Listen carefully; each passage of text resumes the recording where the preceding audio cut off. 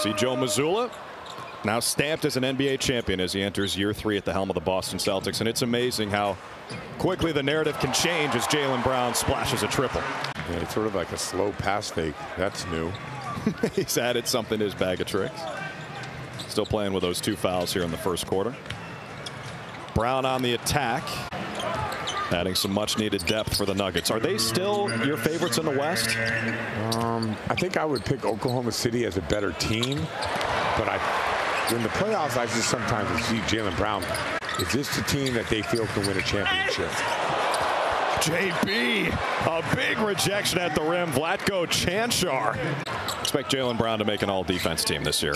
Yeah, it's I mean, time. that, that narrative has to be talked about early. Nice cut. Brown rocks the rim. It's a great drive. Brown oh, rifles wow. that pass in for Kornet. Just how they dialed it up. That is incredible. That's the new cookies and cream, folks. Opposite of the Celtics, who were first in makes and attempts by a mile. Brown for three. Speaking of, left a little short. D. White. JB takes the three over Jokic.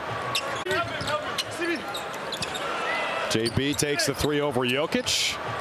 Gets his own offensive rebound. Tatum tries it.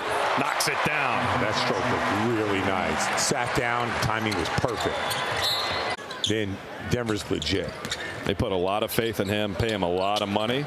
Brown on the fall away, no. Minnesota's the team, I mean, uh, Denver's the team now that is you know, doing well on the offensive glass.